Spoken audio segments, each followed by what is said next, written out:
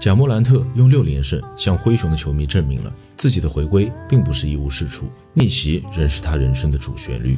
贾莫兰特在最后时刻连续得分，用自己强硬的表现、关键时刻的攻防一体，帮助球队取得六连胜的佳绩，战列西部第四。六场场均三十点六分、六点三篮板、五点八助攻的超巨表现，也让他顺理成章的收获了西部周最佳球员的称号。灰熊球迷拥有如此光明前景，并有机会成为联盟未来超巨的莫兰特，应该值得庆幸才是。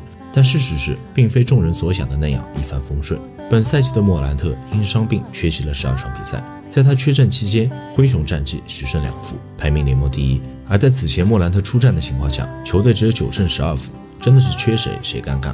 并且球队从联盟防守效率垫底的球队一跃成为联盟第一，这样的天差地别让灰熊的球迷意识到了。也许没有莫兰特，球队似乎会更加强大。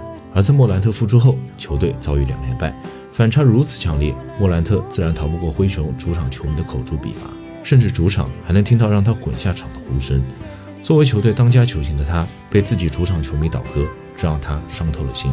随即，他选择对那些负能量避而远之，关闭了社交媒体。你以为他是在逃避吗？大错特错，他只是在为自己真正的逆袭调整状态。之后的莫兰特，他用一场又一场惊艳的表演、疯狂的表现，帮助球队豪取六连胜，并拿下周最佳球员的殊荣，狠狠打了那些嫌弃他球迷的脸。这样的逆天改命，对于莫兰特来说早已习以为常。没有莫兰特的灰熊，真的会更好吗？非也。莫兰特已经用实际行动证明了，有他的灰熊，才会有更好的未来。